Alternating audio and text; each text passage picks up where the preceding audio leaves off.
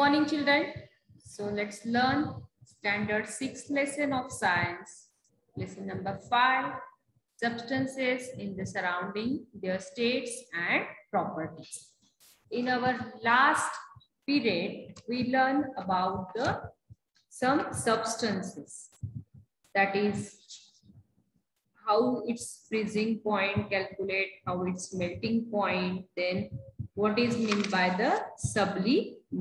So freezing point, melting point of substances and sublimation we learn in our last video. Now let's learn today properties of substances. Some properties. So from the its property from its appearance, the substances are categorized into various types like brittleness, hardness, elasticity, fluidity, densities, solubility, and transparency. Lots of substances are found.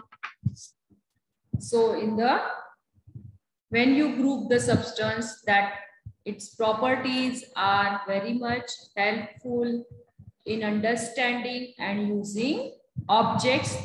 Things can be grouped on the basis of materials they are made up of. Okay. So the purpose for which they are used, their size or any other criteria that the sorting refers the grouping the things according to its type. So grouping helps to identify the substance. Now we are going to learn the properties of the substances. So first property is a brittleness. From the appearance the object are dull or shiny, it appearance. So when you take a piece of chalk, this is the chalk. Okay. When you apply pressure on this chalk, what happened? When you apply pressure on chalk, the chalk breaks immediately. Then alum, glass also. Then so that these substances break into small pieces or particles. Those such substances are said to be brittle. Immediately this chalk breaks easily. So this is the brittle substance. Some examples of brittle substance are chalk, alum, glass, or some food items like the rajgira vadi jo aap ho haath se so it breaks very easily. So these substances are brittle in nature. These substances are brittle in nature. So this property of substances is called a brittleness. Okay? So instead of that other items like metals, they are hard substances. They are not brittle. We cannot break them very easily. So that metals are hard metals, but this chalk, glass, these are the brittle substances. So they are categorized that comes in a brittle substances. Okay. Then another property that is the opposite to brittle is a hardness. Opposite to brittle is hard. So hardness is another property when we press different materials with your hand, you will be able to compress them. Then such substances are the soft substances. But when a piece of iron, piece of iron can be bitten with the help of hammer but cannot be compressed manually. When you, the piece of iron cannot compress it manually, the stone is also cannot compress, the stone is also hard substance, metal is also, iron piece is also hard substance. So it will rather break into pieces if we compress it, it will not compress. So this is the hard substance. Another example, take an iron nail. Iron is a hard substance. Try to pierce a cardboard sheet. So wet mud and piece of the wood using a nail. So what happens? The nail easily appears in the wet mud, but not piece of wood. Wood is also hard substance. So it can be pierced in cardboard sheet with some efforts. Why? The hardness of substance is determined by how much resistance is offers to substances being pushed. It, so the iron nail is a hard substance. We cannot compress it. So metals are the hard substances. Okay, that shows the hardness of the substance. The hardness of a substance is determined by how much resistance it offers to the substances being pushed through it. Okay, then another is the elasticity. Another property of metal is elasticity. So elasticity means, do you know the rubber band? Elastic. When you stretch a rubber band and let it go or apply pressure on the piece of the sponge and release, what happened? The rubber band and the sponge go back to their original shape.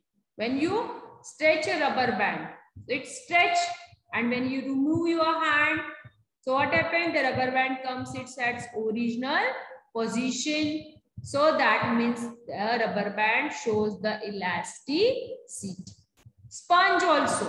Sponge आप place करो उसके ऊपर हाथ रखो फिर से हाथ remove करो अपना so what happened the sponge comes in its original position original shape some substances change their shape when a force is applied on them but return to their original shape and size when the force is removed. So this property is called elasticity. Means elastic, rubber band that show the elasticity. Okay, thread does not show the elasticity क्योंकि हम लोग thread को खींच नहीं सकते thread की length कम ज्यादा भी नहीं कर सकते okay cloth also So that is elasticity. Then third property is a fluidity. Fluidity means fluid means liquid things. So what happened? The fluidity property means when a put a drop of water, honey, gum at different places on the board. एक board ऐसे खड़ा board रखो उसके ऊपर honey डालो आप लोग water का एक drop डालो ऑयल डाल सकते हो। So what happen gum also observe how they flows down the slope so liquid flow downwards on the sloping surface this property is called the fluidity the fluidity of any liquid is determined by how easily it flows जो water है water can flow very easily but the honey cannot flow like easily as as easily as a water because honey is somewhat thick. Or uh, you can tell the gum also gum is also thick. So the fluidity jitne fast jo drop of liquid hai that flows down that means it's fluid. Okay so this properties like brittleness that shows how the substance brittle. When you break the substance very easily, that means it has a brittleness property like chalk, glass are brittle. Then hardness, when you put a pressure on the substance, how easily it compressed or it not compressed means compressible substances and non-compressible substances. जब substance compress होते means they are elastic or they are soft but the substances are not compressed they are hard like the metals iron wood these are the they show the hardness property okay elasticity means the when a force is applied on the substance but returned to their its original shape again back and size when the force is removed. So this property that is called the elasticity. Rubber band, sponge, elastic that shows the elasticity. Fluidity means fluidity means liquids flow downwards on the sloping surface this property is called the fluidity. The fluidity of a liquid is determined by how easily it flows. Okay, so these are the properties of some substances. Then next property that is the densities. What is mean by the density of the substance? So density means if a blocks, two blocks of same size, take two blocks of same size, one wooden and other is the iron box take are weighed in a balance. तो same size के boxes ले लो एक iron का box लो एक wooden box लो और उसका वेट गेन करो वेट उसका काउंट करो how would they compare The mass of different substances having the same volume can be different. You know, cardboard is lightweighted, whereas the iron is iron weight is more than the cardboard. Cardboard. This difference is because of difference in their densities. क्योंकि same size का है पर उसका wait ज़्यादा है मतलब उसकी density ज़्यादा है so between the substances of the same size, same volume, the ones with greater density are heavier than those of the lesser density. Okay, जिसकी density ज़्यादा है, that substance is heavy, और जिसकी density कम है, that substance is light in weighted. So that we can, the density has density जिसकी कम है that floats on water okay और जिसकी डेंसिटी ज़्यादा है that sinks down That sinks down. So when you mix the oil and water, so oil float on water as compared to the another stone okay stone that sinks down when you put a stone when you put a iron piece into water that stone sinks down that iron piece sinks down means its density is more than water. But oil float, kerosene float on water. So because of low density. Understood? So activity is given. Then this is about the density of the substances. So let's then next is the solubility. Solubility means the substance which are soluble in water means like salt, sugar, that's soluble in water. Milk is soluble in water. So they are soluble substances and the substances which are not soluble in water like sand, mud, oil, kerosene, that do not dissolve in water means they are insoluble substances. Okay. So this is about solubility. So let's see one activity is given.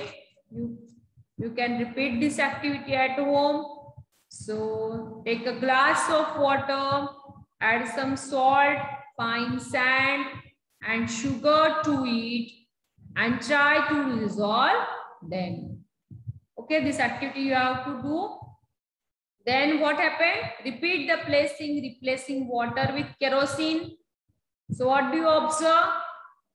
Kerosene नहीं होगा तो आप कोई भी oil लेके उसको observe कर सकते हो some solid substances dissolve in a particular liquid if a solid does not dissolve in a liquid it is said to be insoluble in that liquid like salt is soluble in water then kerosene is insoluble in water so many beverages that is made up of using water and soluble substances like tea, coffee, tea सिर्फ़ colour देता है उसको but the tea powder is insoluble in water जब हम चाय बनाते हैं ना तो sugar is dissolve in water milk भी उसको में डिजोल्व हो जाता है but the tea leaves they gives only stain they give only flavor but the tea leaves are not dissolved in water so we use uh, हम लोग उसको छान के लेते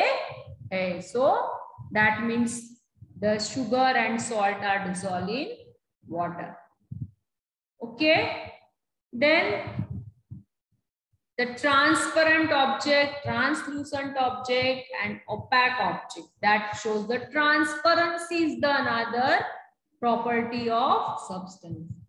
The substance like glass, air, water, the fully light pass through it means the substances are transparent substances means we can see through that substance that are the transparent substance जो glass है, आपका specs का ये glass है that glass is transparent so I am able to see from that glass okay instead of that glass if I use your cardboard in our spec so what happen I cannot see the other an picture through that cardboard so cardboard is a opaque object okay?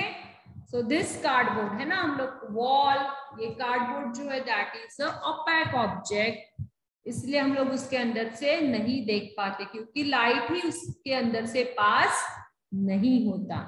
But the glass water air these are the transparent object because light pass through them and the substances which do not the pass light through them that are opaque substances cardboard wall then door लकड़ी का जो door होता है wooden door that is opaque object but glass air water clean water that are transparent substances so this property of substance that is called transparency okay children understood so here we have to stop. Next period we will continue with another topic. Bye everyone.